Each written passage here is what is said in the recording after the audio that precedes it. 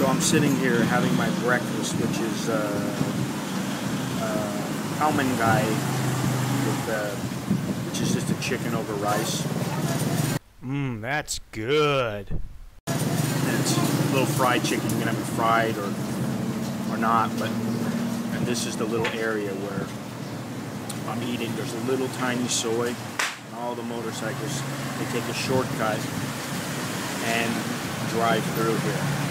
So here's a little view of it.